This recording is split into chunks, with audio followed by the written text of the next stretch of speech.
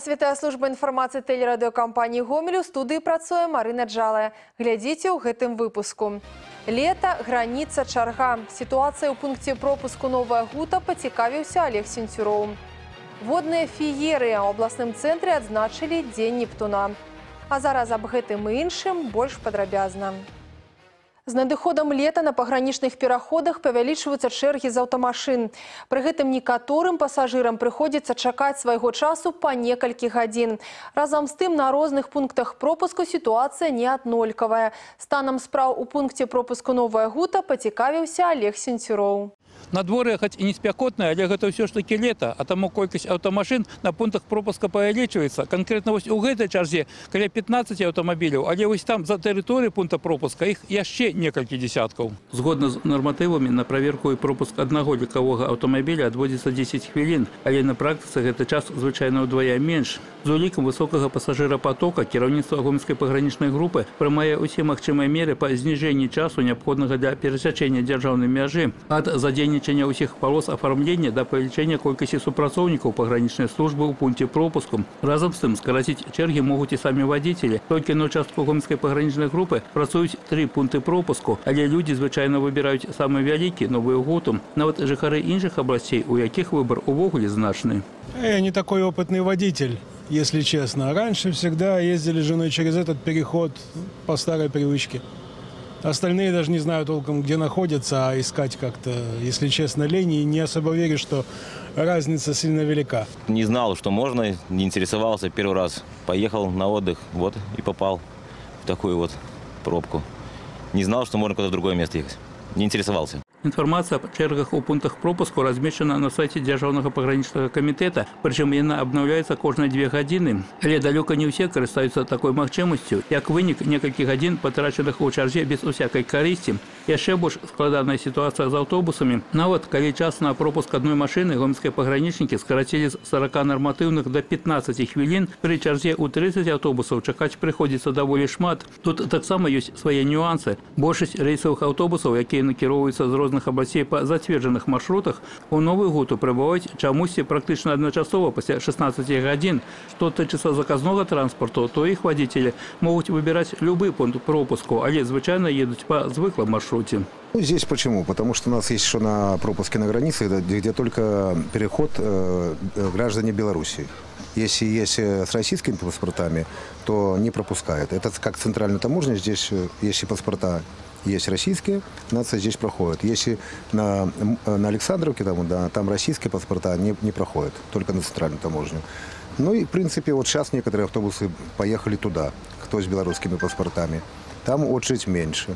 У выходные дни праз пункт пропуску Новая Гута за сутки проезжаюць до 3000 транспортных сродкаў. Пры тым, што інфраструктура пункта разлічана толькі на 1700 машын. У тую ж пятніцу гадзіна пік пачынаецца пасля 15.30, а таму пагранічнікі раюць перасякаць дзяржаўную мяжу раней, што дазволіць значна сэканоміць час. Яшчэ адна парада тычыцца неабходнасці надаваць больш увагі сваім дакументам. Пры змене прозвішча, напрыклад, пашпарт годны толькі 30 сутак, выдадзены дзецям 5 гадоў. Інакш прыйдзецца не толькі надоўга затрымацца на мяжы, але і развітацца з марамі аб адпачынку. Истечение срока действия документа, люди по своей невнимательности значит, э, к документу не обращаются, затем захотели выехать за границу, опять же, внимания не обратили, приехали, тут выясняется, что а, документ, э, срок его действия уже истек. Олег Сенцюроў, Ігор Марышенко, тэлерадыёкампанія Гомель. Працягваем выпуск. У Гомельскай вобласці намалочана першая тысяча тонн зерня новага ўраджаю. Гаспадаркі рэгіёна распачалі выбарачную уборку зерневых і зернебабовых. Камбайны выйшлі ў поле ў васьмі раёнах. Масавыя работы стартуюць да канца наступнага тыдня. Аб тым, як мінімізаваць страты зерня, напярэдадні ішла гаворка падчас семінару. Ён праходзіў на тэрыторыі сельгаспрадпрыемства Урыцкая Гомельскага раёна. Спецыялістам, якія курыруюць сельскую гаспадарку з усіх усіх рэгіёнаў вобласці наглядна паказалі, як лепш настроіць агрэгаты камбайна, каб страты зерня былі мінімальнымі. У бліжэйшыя дні яны праінструктуюць сваіх падначаленых на месцах. Пакуль жа поўным ходам ідзе уборка азімага рапсу. Абмалочана 30 процентаў плошчаў. Ураджайнасць на 20 процентаў вышэйшая за мінулагоднюю. Дарэчы, у гэтым годзе пачатак уборачнай з-за надворы прыйшлося адкласці прыкладна на два тыдні. Але, па словах спецыялістаў, дзякуючы ў тым тым ліку нябеснай канцелярыі, ураджай павінен быць вышэйшым за мінулагодні. В текущем году была проведена огромная работа по формированию урожая, выполнены все необходимые технологические требования, и мы ожидаем получить вал зерна в текущем году э, значительно больше уровня прошлого года. Надзвычайная сітуацыя прыроднага характару. У двух лясгасах Гомельскай вобласці, Лельчыцкім і Мілашевіцкім пад пагрозай знішчэння больш за паўтары тысячы гектараў лесу. Віной усяму нашэсце вяршыннага жука і жука-караеда. Шкоднік не пакідае дрэвам ніводнага шансу на выжыванне і спыняцца не збіраецца. На барацьбу з караедам мабілізаваны амаль 300 чалавек і паўсотні адзінак тэхнікі. Падрабязнасці далей у сюжэце. Оно отработанное. всего ничего не будет. Кроме дров. Буравая мука і адтуліны ў ствале першыя прыкметы прысутнасці жука-караеда. Хоць дрэва выглядае цалкам здаровым, спецыялістам відавочна ўнутры шкоднікі. У гэтай сасне, да прыкладу, апынулася адразу некалькі сем'яў. Плошча заражэння больш за паўтары тысячы гектараў. Зараз усе сілы лясгасаў у Лельчыцкім раёне накіраваны на барацьбу са шкоднікам. На дапамогу калегам прыбылі супрацоўнікі Гродзенскага лесагаспадарчага аб'яднання. Здесь у нас работает Островецкий лесхоз. Взяли на корню лесосеку и пилят харвестером. После харвестера будем сжигать порубочные остатки. Площадь 2,7 гектара. Есть участки от 10 соток и до 3 гектар. Зараз тут актыўна размнажаюцца адразу два віды жукоў-шкоднікаў – вяршынны і караед. Першы знішчае крону і верхнія дзве трэці ствала. Другі сілкуецца карой, і ў выніку гіне ўсё дрэва. Па словах спецыялістаў, такога масавага нашэсця шкоднікаў у гэтых лясах не было з минулага стагоддзя. Четыре года без дождей в данном регионе. Понижение уровня ученые доказали на метр шестьдесят сантиметров уровня воды. То есть деревья уже не могут бороться. Данные насекомые у нас были всегда, но они были в незначительных количествах. То есть деревья боролись, было необходимое давление живицы смолы. Мы принимаем все меры, которые надо сделать И до 1 августа данная задача должна быть выполнена. Агнём і сякеры пакуль адзіны метад выратавання лесу. Хімікаты не дапамогуць. Жукі з пацярпелых дрэваў пераходзяць на здаровыя. Спальваюць драўніну пад строгім кантролем. На кожным участку дзяжурыць пажарная машына. Тое, што ўдаецца выратаваць, будуць рэалізоўваць у якасці дроў. Акрамя таго, спецыялісты лясгасаў гатовыя замест кожнай загінуўшай хвоі высадзіць новыя. У гадавальніку сваёй гадзіны чакаюць сотні саджанцаў. Ганна Кавалёва, Ольга Халадович, тэлерадыёкампанія «Гомель» пры падтрымцы агентства тэленавін Лельчыцкі раён. У Гомелі адбылося ўзнагароджанне супрацоўнікаў управлення Дзяржаўнага камітэта судовых экспертыз Рэспублікі Беларусь па Гомельскай вобласці. Афіцэры атрымалі пагоны з нагоды прысваення чарговых спецыяльных воінскіх званняў і медалі. Вераніка Варашыліна валодае падрабязнасцямі. Урачысты цырыманіял разгарнуўся ў калоннай зале палацу румянцавых і паскевічаў, што зусім не выпадкова гэтая велічная установа ў розныя часы бачыла нямала бліскучых военноначальнікаў. Урачыстае пастраенне асабістага составу супрацоўнікаў управлення, прысутнасць кіруючых асоб, праваахоўных структур і прадстаўнікоў выканаўчай улады. У сапраўды святочнай абстаноўцы афіцэры атрымалі пагоны з нагоды прысваення чарговых спецыяльных воінскіх званняў, старшых лейтенантаў і капітанаў, маёраў і падпалкоўнікаў юстыцыі. Таксама супрацоўнікам ведомства ўручаны ганаровыя дзяржаўныя ўзнагароды, медалі за бездокорную службу. Я дослужился до старших офицеров. Сегодня мне присвоено очередное специальное звание майор юстиции. Получать очередное специальное звание всегда приятно для любого офицера. Э, Вдвойне приятно получить такое звание из рук заместителя председателя в такой торжественной обстановке. Накладывает какую-то определенную ответственность по достойному выполнению своего служебного долга. Нужно ко всему подходить э, полностью со всей ответственности, то есть вкладывать полностью себя в работу, чтобы получить э, желаемый результат. Управление Дзяржаўнага камітэта судовых экспертыз было створана ўсяго чатыры гады таму. За гэты час ведомство доказала сваю эфектыўнасць. Без яго заключэнняў не абыходзіцца ні адна крымінальная справа. Пры гэтым наша рэгіянальнае ўправленне сёлета ў ліку перадавікоў. Па выніках першага паўгоддзя яно з'яўляецца лідарам па колькасці выкананых экспертыз каля 23 тысяч. Усе яны праведзены максімальна хутка ў адведзены заканадаўствам 30-дзённы тэрмін. На ўзбраенні ведомства як сучаснае, так і праверанае вопытам абсталявання. Яно дазваляе аператыўна, а галоўнае якостно провести всю необходимую працу, собрать каштоўные доказы. Проведение количества экспертиз увеличивается, качество их, приобретается новое оборудование.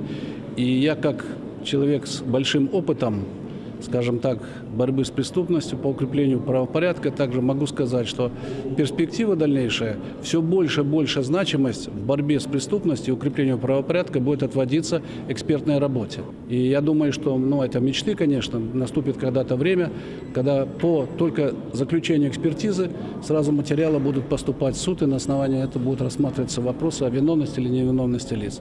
Ну, для этого надо еще, так сказать, дойти технически, но мы идем по этому пути Асаблівасць работы ўправлення дзяржаўнага камітэта судовых экспертыз цеснае ўзаемадзеянне з органамі ўлады, бо стабільнасць і бяспека краіны галоўныя арыенціры сучаснасці. Да таго ж зараз актыўна ажыццяўляецца міжнароднае ўзаемадзеянне са спецыялістамі расійскай федэрацыі, літвы, Польшы, Харватыі і іншых краін. Галоўныя мэты абмен навуковай інфармацыі і вопытам работы і ў выніку павышэння эфектыўнасці барацьбы са злачыннасцю. Вераніка Варашыліна, Максім Славін, тэлерадыёкампанія Гомель. У выставачнай зале гомельскага абласнога цэнтра народнай творчасці адкрылася персанальная выстава Святланы Бацуновай. На ёй прадстаўлены работы, выкананы ў тэхніцы вышыўкі крыжам. Сюжэты прэзентаваных палотнаў гэта карціны мастакоў эпохі адраджэння і рускіх жывапісцаў. Тут можна ўбачыць Мону Лізу Леонарда да Вінчы, дзяўчыну з жамчужнай завушніца Яна Вярмеера, раніцу ў сасновым бары Івана Шышкіна і многія іншыя сусветныя шэдэўры, вышытыя Святланай Бацуновай. У гомельскім абласным абласным цэнтры народнай творчасці размясцілася каля 50 вышытых палотнаў. Кожная з іх патрабавала ад аўтара ўседлівасці, цярпення і натхнення. Нужен душевный парень. Что-то э, бывает, значит, вот тут у меня моя любимая картина «Мадонна Литта». Ее разрабатывали три месяца а я ее вышила за две недели. Э, вот не веря, что невозможно вышить. Я ее вышила за две недели. Это самая тяжелая так картина, вот Мадонна Лита. Просто был порыв, было такое натхнение, как говорится по-белорусски. Допустим, у меня московский дворик, я ее вышивала год с половиной где-то. Где-то 3-4 месяца можно вышивать картину так, если уж захочется. У гомельскай абласной універсальнай бібліятэцы імя Леніна распачаўся цыкл летніх канцэртаў бэзавыя вечары. Старт гэтай музычнай акцыі быў дадзены яшчэ летась. Тады ў сценах культурнай установы адбылося 8 праграм. Напярэдадні ў абласной бібліятэцы з сольным канцэртам і вечная вясна выступіла выпускніца каледжа мастацтва імя Сакалоўскага, салістка дзяржаўнай установы гомельскія гарадскія аркестры Юлія Муха. У яе жывым выкананні слухачы пачулі вядомыя і вельмі складаныя арыі з опер і аперэт, якія сталі класікай сусветнага вакальнага мастацтва. Усе лірычныя кампазіцыі былі аб'яднаны адзінай тэмай прыгожага і шчырага пачуцця кахання.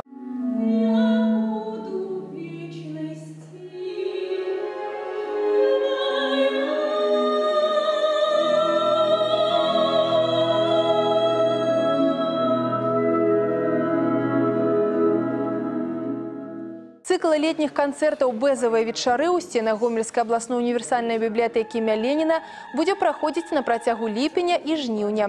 Музычныя праграмы ладзяцца ў фае першага паверха установы кожны чацвер у 18 гадзін. Сёння ў гомелі прайшоў дзень Нептуна. На навабелецкім пляжы мерапрыемства адкрыла яскравае тэатралізаванае прадстаўленне. Казачныя персанажы русалкі на свята прыехалі на матацыклах. Яны забаўлялі гледачоў да з'яўлення галоўнага героя Нептуна. У сваю чаргу бог мораў і водных патокаў разам са сваёй світай з'явіўся на катары, рассякаючы водную роўніць ракі Сош. Для дзяцей і дарослых падчас свята ладзіліся цікавыя конкурсы і спаборніцтвы. Аматары актыўнага адпачынку адпачынку змаглі паспрабаваць свае сілы ў арм-рэслінгу, пляжным валейболе, перацягванне ліны і народных гульнях. Была арганізавана танцавальная аэробіка і паказ калекцыі адзення ад беларускіх дызайнераў. Таксама ўсе жадаючыя змаглі пракаціцца на канях ці поні, зрабіць селфі ў спецыяльнай фотазоне або на выставе матацыклаў. Між тым свята мела не толькі забаўляльны фармат, але і пазнавальны характар. Прадстаўнікі МНС, асводы чырвонага крыжа знаёмілі дзяцей з правіламі бяспечных паводзінаў на канікулах і расказвалі ім пра тое, як дзейнічаць у экстранных сітуацыях. Завяршыўся дзень Нептуна ў Гомелі воднай феерыяй. Участвую второй раз уже. Ну, праздник, радость детям, радость населению. Мне кажется, что Погода хорошая, потому что ни жарко, ни дождя нет. Вот уже солнышко хочет к нам вылезти и порадовать нас своими лучами, поэтому только позитивные эмоции и хорошее настроение. Желаю в этот радостный день, счастливый для всех, всем удачи, добра, успехов, чтобы все мечты сбывались, чтобы все было хорошо у всех и у каждого. Гэтыя і іншыя навіны вы можаце знайсці на нашым сайце ў інтэрнэце па адрасе www.цівергомель.by. На гэтым выпуск завершаны. У студыі працавала Марына Джалая. Усяго добрага і да сустрэчы ў эфіры.